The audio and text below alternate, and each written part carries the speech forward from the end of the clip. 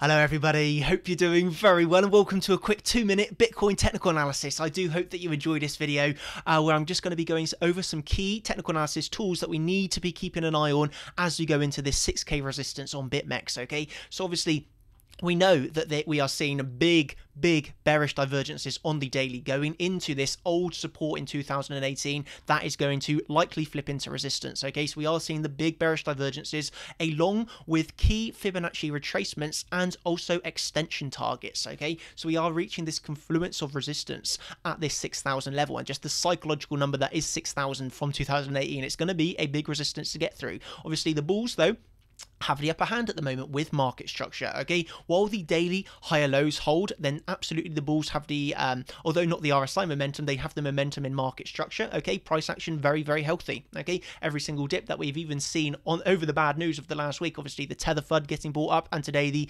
Binance hack is still getting bought up. Okay.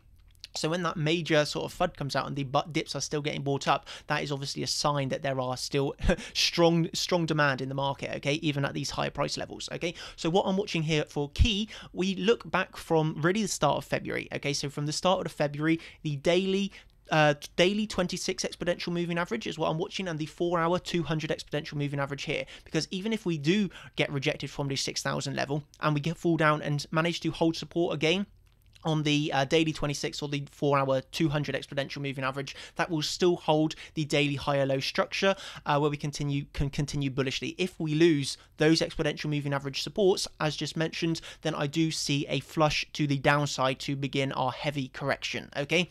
Uh, but that's what i'm watching on this short term and it really is just reaching a crucial point where you want to be hedged at least in some way if you are not already uh, reaching this critical area where we can expect some high high volatility to come in the next few days. Uh, i'm looking forward to it. Hope you've enjoyed this video. If you have enjoyed this quick two minute analysis i'm not even sure how long i've been speaking one or two minutes uh, then please let me know and i can do some more. All right cheers. Thanks. Bye